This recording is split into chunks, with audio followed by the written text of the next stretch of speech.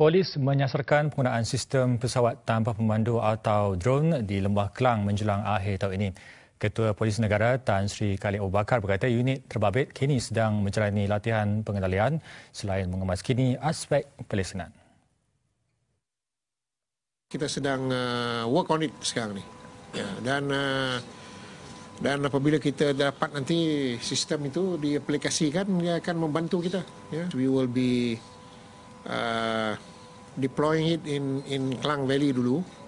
Jadi apabila kita ya kita perlu melatih uh, pegawai dan anggota kita dalam mengendalikan drone ini ya. Kita tak mau nanti dia masuk rumah orang lah, uh, masuk bilik tidur orang lah.